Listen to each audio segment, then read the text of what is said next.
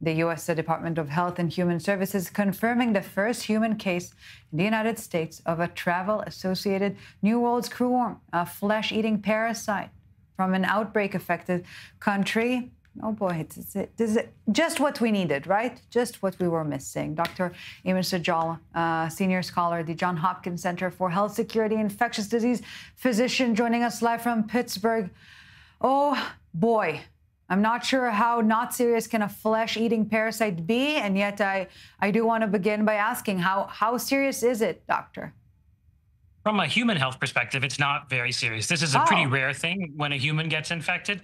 This is a major agricultural problem, though. This is a major effort of the U.S. Department of Agriculture to try and stop the incursion of screwworm into North America.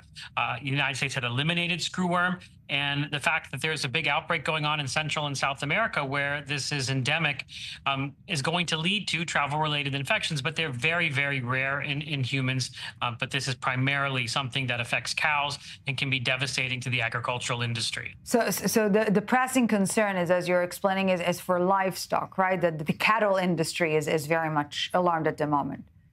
Exactly. We have what we call kind of like an exclusion zone from the United States. So kind of in the in Panama, that area, there's an area where they have aggressive control efforts by releasing irradiated flies that are sterile. They mate with the female screwworm flies, and the eggs are not viable. That's how we control screwworm. But what's happened is the screwworm has kind of penetrated that exclusion zone in Panama mm. and is now mm. spreading in Mexico. So there is going to be increased activity along the Texas Mexico border to stop screwworms from moving into the United States. And this is going to be a major effort of the USDA to try and, and stop this because it can cost billions and billions of dollars in, in cattle losses because it can really kill and devastate uh, cattle herds. Right. And this parasite, you know, no, no stranger to to the United States, just eradicated many, many years ago, right? So what what is what is the protocol? What is the government now doing about it?